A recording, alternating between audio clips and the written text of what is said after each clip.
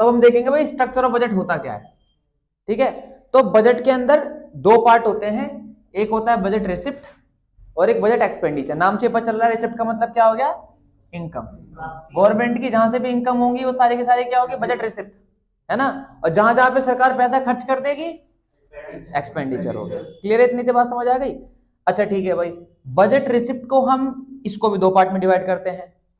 पहली बात तो बजट रिसिप्ट की डेफिनेशन देख लो। अगर तुम लिखते हो तो। Estimated money receipt of government during an एक साल के अंदर एस्टिमेटेड मनी रिसिप्ट की मतलब एस्टिमेट करा जाता ना, क्योंकि हम आगामी वर्ष का करते कल हमने पढ़ा था ना कि हम नेक्स्ट ईयर में पैसा कितना कमाएँगे। कंफर्म नहीं है, इतना आएगा ही आएगा।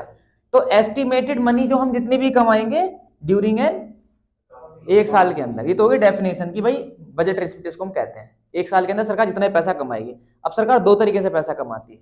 एक होता है रिवेन्यू रिसिप्ट एक होता है कैपिटल रिसिप्ट ध्यान से समझना रिवेन्यू रिसिप्ट क्या होती है? ये वो इनकम होती है कि सरकार पैसा तो कमा लेगी, पर उसकी लाइबिलिटी नहीं बनेगी लाइबिलिटी नहीं बढ़ेगी मतलब कोई उधारी नहीं होगी। एक ऐसी इनकम जिससे इनकम होने के बाद सरकार की कोई भी लाइबिलिटी नहीं बनेगी, ना ही सरकार की एसेट्स घटेगी, जैसे टैक्स होता है। सरकार ने हमसे टैक्स ले लिया तो सरकार की इनकम हो गई? तो सरकार जब हमने टैक्स लेती है तो सरकार को हमें कुछ देना पड़ेगा क्या? नहीं नहीं देना पड़ेगा। कोई लाइबिलिटी क्रिएट नहीं होती है। समझ रहे हो लाइबिलिटी क्रिएट का मतलब? कि सरकार को कोई चीज़ देनी नहीं पड़ेगी। समझ गए? और ना ही सरकार की कोई संपत्ति घट रही है। एग्ज़ाम और इसी का उल्टा हो जाएगा कैपिटल रिसिप्ट कैपिटल रिसिप्ट क्या हो जाएगा? इसमें हमने पढ़ा कि इसमें लाइबिलिटी बनती नहीं है, इसमें लाइबिलिटी और सरकार की कुछ ना कुछ एसेट्स भी घट जाएगी। जैसे मान के चलो सरकार ने कोई रेलवे बेच दी मान के चलते हैं। तो रेलवे बेचने से क्या होगा? सरकार की एसेट्स घट जाएगी। देखने के लिए तो सरकार की इनकम है ये भी है ना? पर वो क्या है? वो रिवेन्यू रिसिप्ट नहीं है वो कैपिटल रिसिप्ट है। क्यों? क्योंकि इसमें एसेट्स घट रही है। कैपिटल लाइबिलिटी कब अराइज होगी? मान के चलो सरकार किसी से लोन ले ले कि भारत ने चाइना से लोन ले लिया मान के चलो। तो देखने के लिए क्या हो गई वो? इनकम हो रही है हमारी कैपिटल रिसिप्ट है बट वहाँ पे क्या हो गया? लाइबिलिटी अराइज हो गई। सिंपल डेफिनेशन है समझ जाओ इस चीज़ को। कि वो इनकम जिससे ना हमारी तो लाइबिलिटी बने, ना ही हमारी एसेट्स घटे। उसको हम बोलेंगे हम रेवेन्यू और जिससे हमारी लाइबिलिटी बन रही हो या फिर हमारी एसेट्स घट रही हो तो वो क्या हो जाएगा? कैपिटल समझ गए? तो सबसे पहले हम पढ़ेंगे रेवेन्यू रिसिप्ट रेवेन्यू रिसिप्ट की डेफिनेशन हम लोगों ने पढ़ी ली। अब रेवेन्यू रिसिप्ट भी दो तरीके के होते हैं। एक टैक्स रिसिप्ट और एक नॉन टैक्स टैक्स क्या होता है? कंपलसरी पेमेंट होती है टू द गवर्नमेंट एक कंपलसरी पेमेंट है, हमें करनी पड़ेगी पड़ेगी गवर्नमेंट को। और कौन कौन करेगा? हाउस होल्ड करेंगे फर्म्स करेगी या फिर कोई अदर इंस्टीट्यूशनल यूनिट करेगी। पहले हम लोग करेंगे या बिजनेसमैन करेगा? कुल मिला सीधी सी बात ही है। और कंपलसरी है पे करना पड़ेगा और इसकी डेफिनेशन के हिसाब से ना तो कोई लाइबिलिटी क्रिएट होगी, ना ही सरकार की कोई एसेट्स घटेगी। समझ रहे हो? हम सरकार से वापस कुछ नहीं मांग सकते। अब टैक्स को हम तीन अलग अलग पार्ट में डिवाइड पार्ट में डिवाइड कराते हैं। एक ये एक ये और एक ये। ठीक है? तो सबसे पहला आता है प्रोग्रेसिव और रिग्रेसिव प्रोग्रेसिव टैक्स कौन सा होता है? Rate of tax increase when income जब आय बढ़ेगी तो टैक्स भी बढ़ता चला जाएगा। जैसे कि हमारे देश के अंदर टैक्स का स्लैब क्या है कि पाँच पर, अगर तुम पाँच लाख तक कमाते हो सालाना तो कोई टैक्स नहीं है। पाँच लाख से साढ़े सात लाख वालों को दस परसेंट टैक्स देना पड़ेगा। तुम्हारी इनकम साढ़े सात लाख से दस लाख तक है तो साढ़े बारह परसेंट टैक्स देना पड़ेगा। मतलब जैसे जैसे इनकम बढ़ती चली जाएगी टैक्स का रेट बढ़ता चला जाएगा। तो ये क्या हो गया?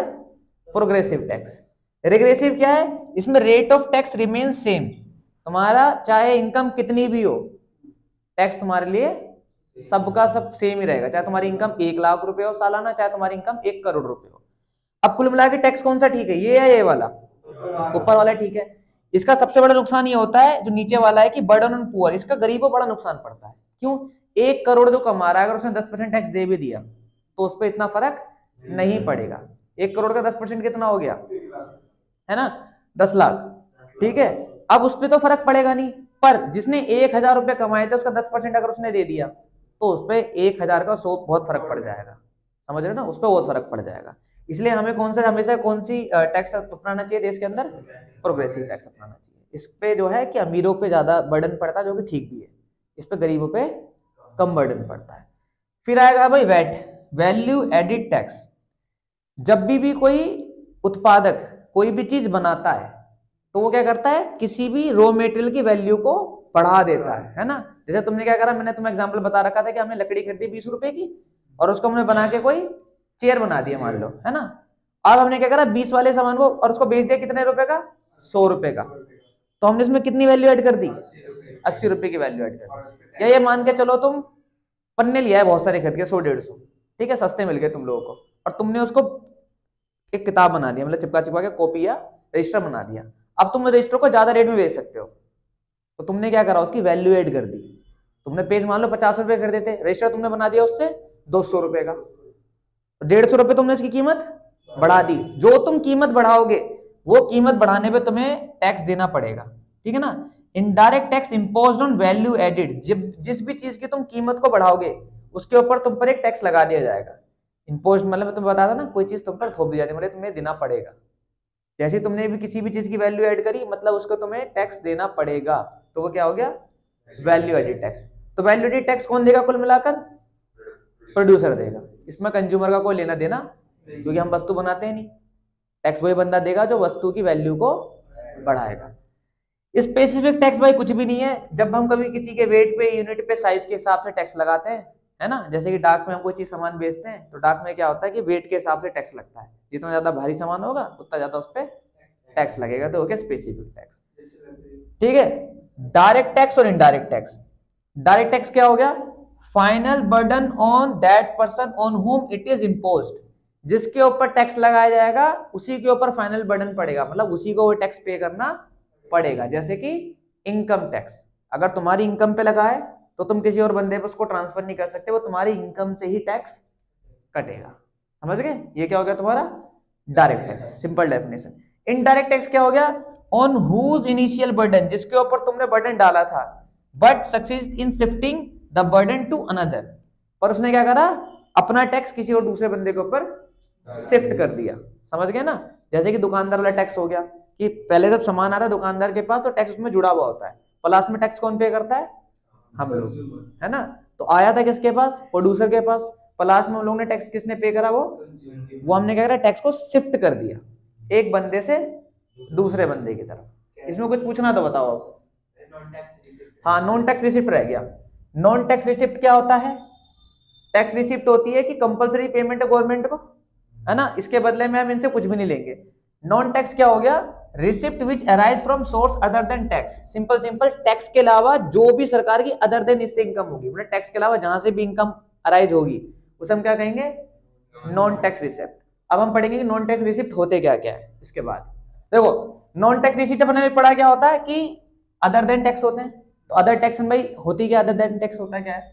तो अदर देन टैक्स में हमारे सामने होती है fees fine escheat special assessment income from public enterprises income from sale of spectrum और ग्रांट डोनेशन ये कितनी सारी चीज़ें हो गई भाई? सात हो गई ना? सात हो गई।